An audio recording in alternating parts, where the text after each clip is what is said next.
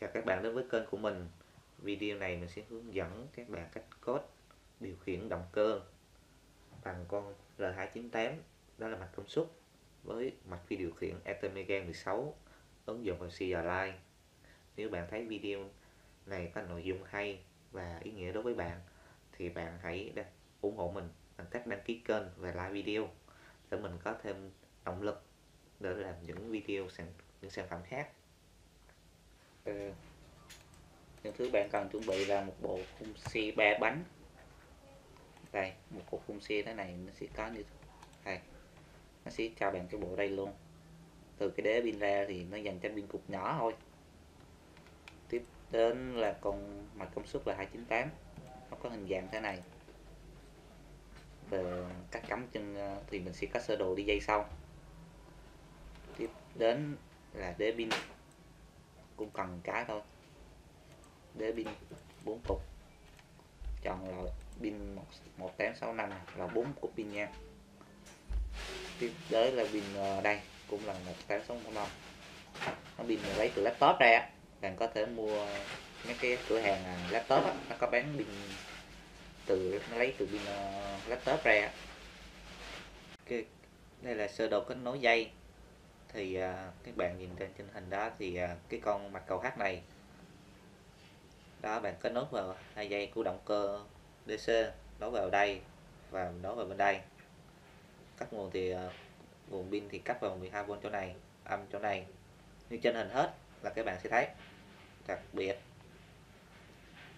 Bạn nhớ là đi dây âm chung giữa con chip với ờ, trò nguồn pin nha. Vô này và những chân đầu cắm tín hiệu cho xe chạy bạn cắm như như trên hình. Đây là mình lắp trên cái xe thực tế đây. Bạn có thể lắp tùy ý, theo cách của bạn cũng được. Bạn có thể thêm cái này là, để tham khảo thôi.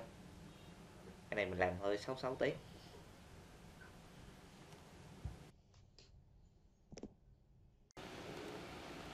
Sau khi bạn kết nối xong thì bạn thực hiện cái này cho mình. Bạn làm theo ờ, cái code này. Theo hướng dẫn mình ờ, hướng dẫn bạn làm đây. Đây là code để thực hiện, chủ yếu là cho xe chạy thôi, chứ chưa có điều khiển ờ, tốc độ động cơ gì hết. Bạn làm theo như trên video.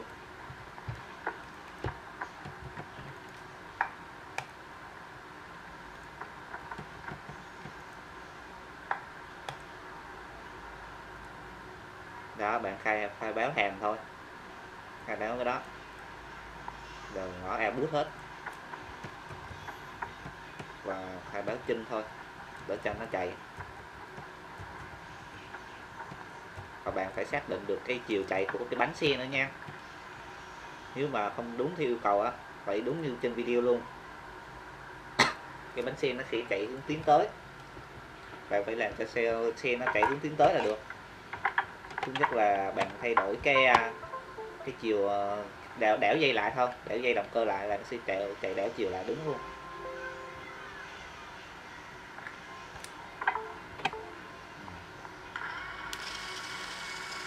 Đó, chạy cùng chiều chạy đi thẳng á.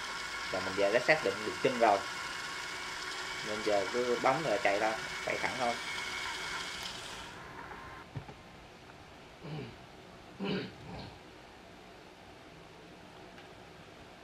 Sau khi bạn điều khiển được cái động cơ giờ tiếp đến mình sẽ điều khiển động cơ tiếp và có thể bạn có thể tăng giảm tốc độ của động cơ đó.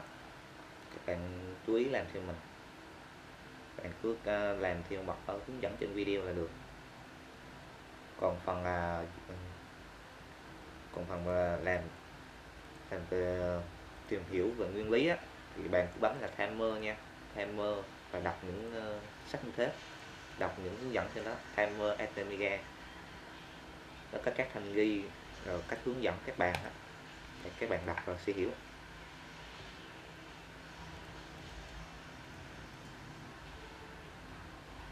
Nếu các bạn có thắc mắc cái gì thì có thể liên hệ hỏi mình nghe Zalo hoặc là Facebook.